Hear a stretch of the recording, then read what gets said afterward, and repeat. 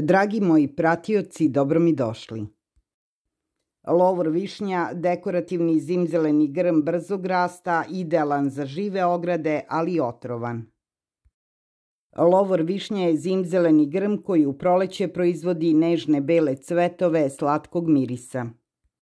Brzo raste i mami ptice svojim crvenim plodovima nalik višnji. Lovor višnja ima sjajne tamno-zelene kožaste listove koji jako podsjećaju na lovorov list, dok bobice podsjećaju na višnje, pa otuda i naziv lovor višnja. Ova biljka može da bude koristan i atraktivan dodatak dvorištu. Lovor višnja dosta brzo raste i dobro podnosi urezivanje, pa iz tog razloga pogodna da se od nje formira živa ograda. Zbog svoje otpornosti i malih zahteva za uzgoj dosta se koristi za ozelenjavanje javnih zelenih površina. Ukoliko se nalazi na poziciji koja je dobro osunčana, raste brže i gušće nego kada se posadi na stenovitom mestu. Voli da ima dosta vlage u zemljištu, ali da se ona previše dugo ne zadržava. Ako se ne ograničava u rastu i pusti da slobodno raste, može da dostigne visinu i preko 5 metara. Cveta u proleće belim cvetovima koji se nalaze u grozdovima specifičnog izgleda. Dobre osobine lovor višnje su sledeće. Postoji 40 različitih vrsta ove biljke što pruža obilje izbora za različite namene. Ipak najčešće se koristi kao živa ograda, zaštita od jakih vetrova ili buke, što je idealno za dvorišta koje su u blizini puteva. Može da se koristi i kao pojedinačna ukrasna biljka na travnjaku, to jest grm. Lovor višnja je otporna i na zagađenja, a privlači leptire pčele i ptice. Može da se razmnožava deljenjem korena ili semenkama. U rasadnicima ili na pijacama kod proizvođača cveća možete kupiti lovor višnju u saksijama. Veoma je tolerantna i prilagodljiva biljka, uspeva i na osunčanim mestima i u hladovini, a dobro podnosi niske temperature. Takođe ono što je dobro je da nije ni izbirljiva po pitanju zemljišta, ipak treba znati da će ona na suncu biti najgušća. Korisna je kao pregradni element ili za uzgoj uz granicu sa drugom parcelom.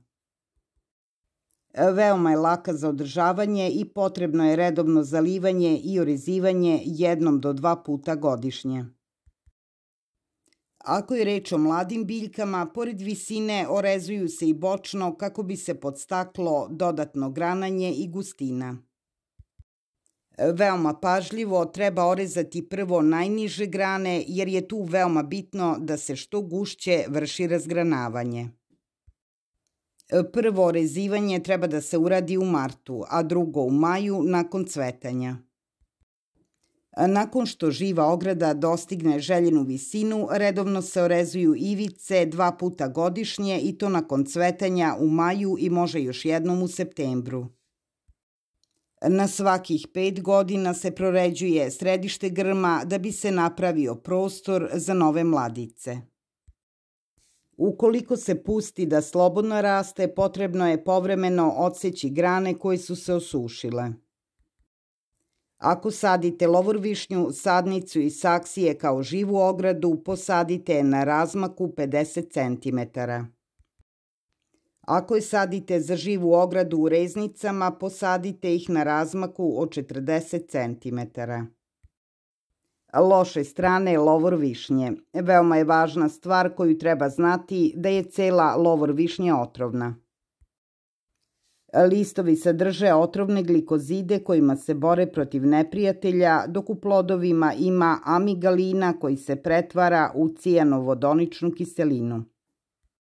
E, hemijski sastav u listovima je toksičan, ali i razlog što listovi imaju prijatan miris badema kada se zgnječe. Deci su posebno interesantni njeni plodovi crvene bobice koje su takođe otrovne i morate povesti računa da deca ne dođu u dodir sa njima. Osim njene toksičnosti, druga potencijalno nepoželjna osobina lovor višnje je sklonost invazivnom rastu. Zato je lovor višnja izuzetno poželjna za žive ograde, zato što veoma brzo poraste. Ukoliko ste spremni da ovaj grm držite pod kontrolom i sprečite kućne ljubimce ili decu da nešto od njega konzumiraju, slobodno možete da ga dodate u svoj vrt ili dvorište. On će svojim snažnim i brzim širenjem dati prepoznatljiv vizuelni pečat svojim izgledom vašem dvorištu.